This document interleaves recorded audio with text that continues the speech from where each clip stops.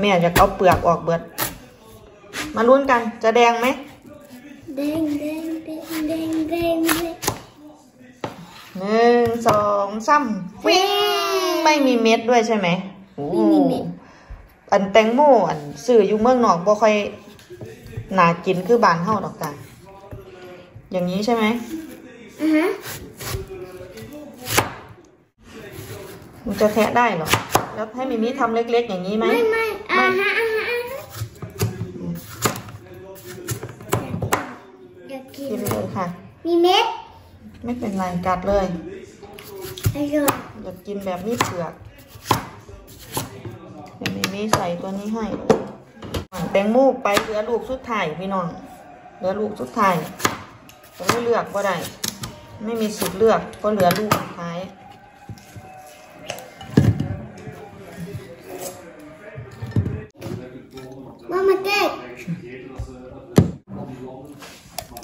ไปให้พี่ตังกินด้วยก็ได้ไป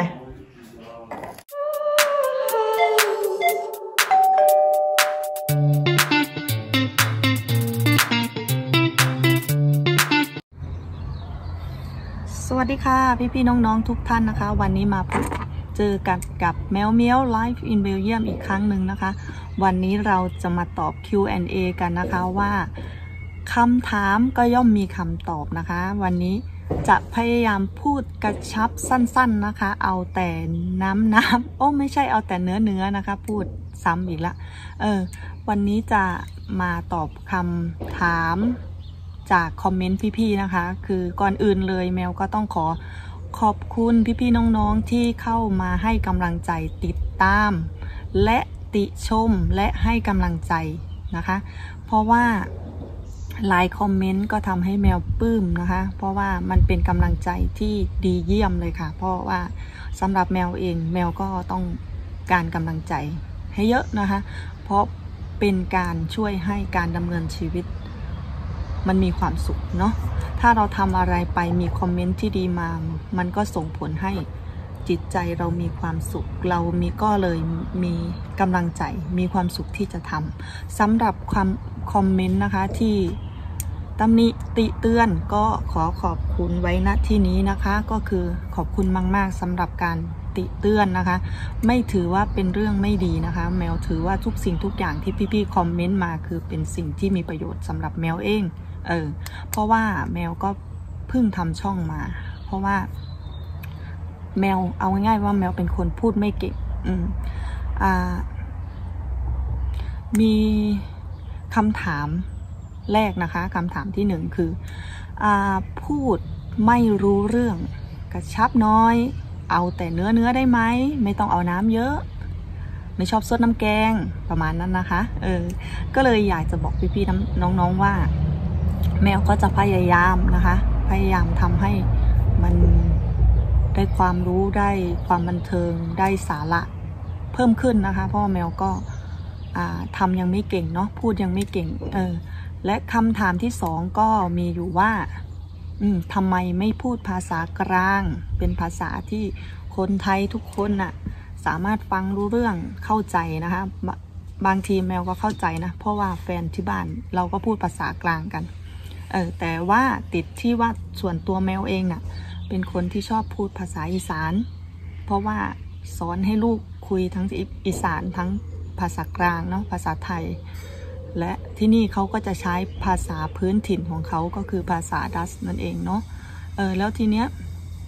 แมวก็เลยติดตรงนั้น คิดว่าเอาความสะดวกของตัวเอง เวลาเราใส่คำพูดหรือใส่อารมณ์ไปนะ่ะภาษาที่เราถนัดมันก็จะได้ฟีลลิ่งที่ดีกว่า และสมูทไปกว่าเออความคิดส่วนตัวนะคะ แต่ถ้าว่าพี่ๆน้องๆว่าเออมันฟังไม่รู้เรื่อง ก็เข้าใจในอีกมุมเนาะเพราะว่าคนแต่ละ เขาเรียกอะไร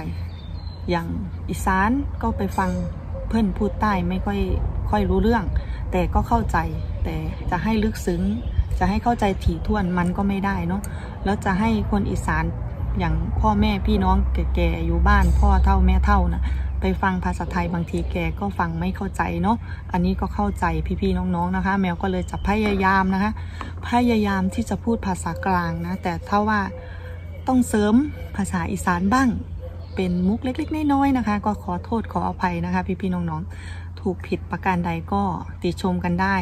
จะพยายามปรับปรุงช่องนะคะ พี่น้องจ๋าอันนี้ก็ขอความกรุณานะคะ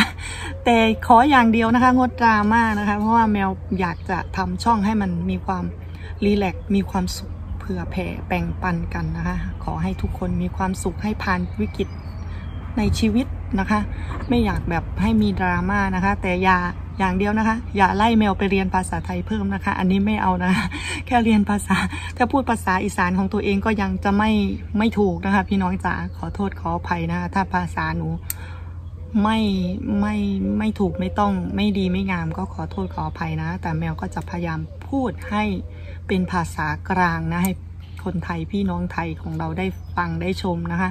ทางภาษาอีสานโน่นนั่นนี่ก็จะมีปะปนมานะคะ เพื่อนๆอ่ามาเจอคำถามที่สามนะคะทำไมหน้าดำเป็นฝ้าจังอันนี้เป็นคำถามที่ตรงใจแมวตอนนี้เลยนะคะ เพราะว่าที่นี่อากาศเบลเยียมค่อนข้างจะร้อนมาก อืมเอาง่ายๆว่ายุโรปทุกที่อากาศค่อนข้างที่จะร้อนร้อนมากกว่าเมืองไทยนะคะ เพราะว่าที่นี่เหมือน เขาจะอยู่ใกล้พระอาทิตย์มากกว่าเนาะเออเพราะว่าก่อนที่จะมีคอมเมนต์ทำไมด้าดำจัง ก็คือ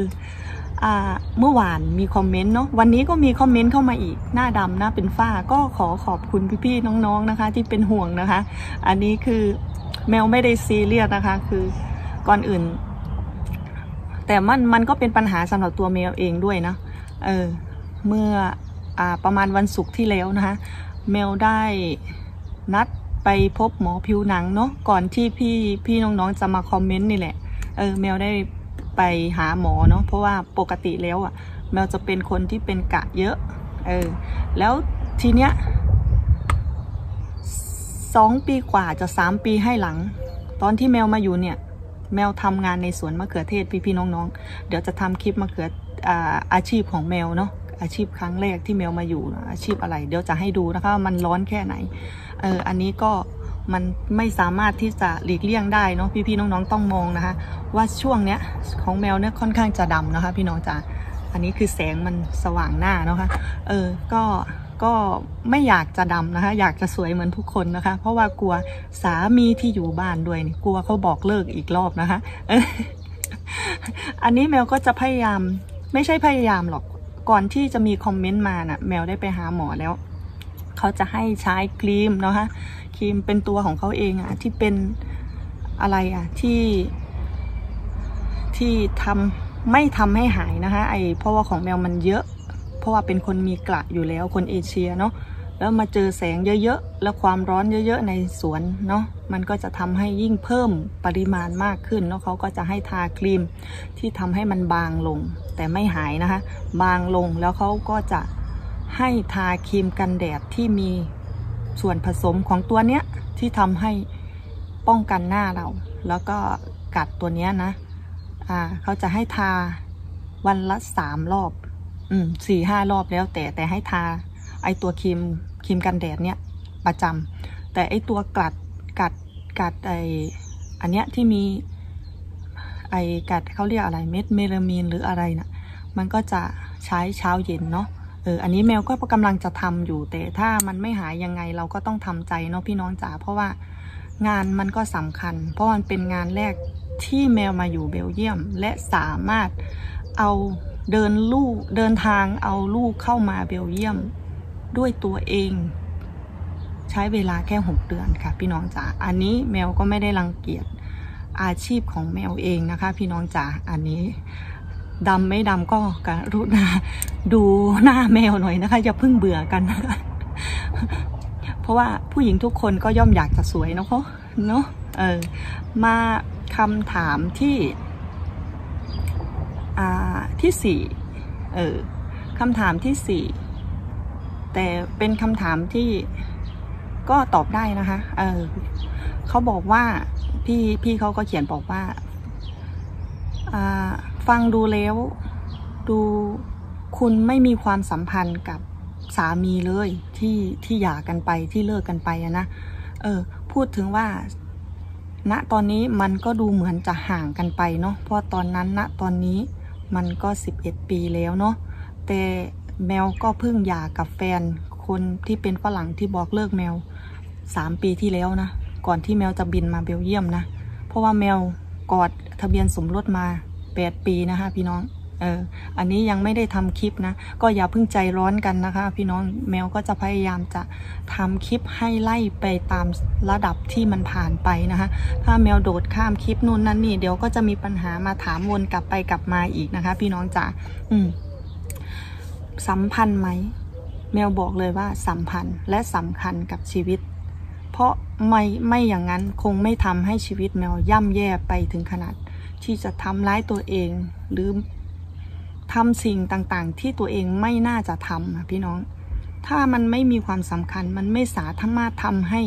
ผู้หญิงคนหนึ่งต้องหอบลูกไปแล้วก็ ไปลอยบนอากาศเนี่ย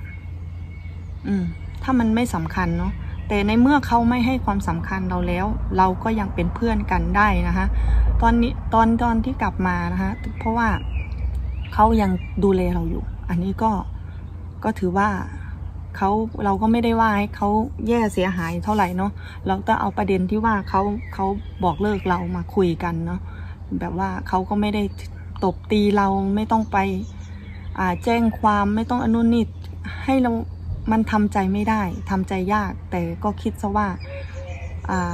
เคมีเราไม่ตรงกัน หรือไม่ก็ความรับผิดชอบระหว่างครอบครัว คนสองคนอยู่ร่วมกันไม่ได้ ก็จบกันไปเป็นเพื่อนกัน ก็เป็นสิ่งที่ดีที่สุดเนาะเพราะณตอนนั้นตอนถึงตอนนี้เนาะย่าอดีตอดีตย่าเนาะแต่ตอนนี้ก็เป็นเพื่อนกันมาสิบกว่าปีเออแกก็ยังดูพฤติกรรมเราดูความเป็นไปมาของครอบครัวใหม่ของเรานู่นนั่นนี่เขายัง ยังดูเราอยู่ก็ถือว่าแฮปปี้ไปตรงนั้น แต่ว่าสิ่งที่ไม่ดีเราก็มาพูดคุยกัน แต่เราก็ไม่ได้บอกว่าเขาแย่นะคะ เออ อันนี้ก็แมวน่ะ บอกตรงๆว่าก็แคร์เขาเขาอยู่เนาะแต่ว่าในเมื่อเป็นไปไม่ได้เราก็ต้องยอมเนาะคะยอมเนาะเออมาคำถามที่5เนาะตอนนี้อยู่ที่ไหนมีพี่สาวคนนึง FC ที่น่ารักเนาะถามมาว่าอะไหนบอกว่า เอาลูกกลับไทย แล้วทำไมยังอยู่เมืองนอก เออ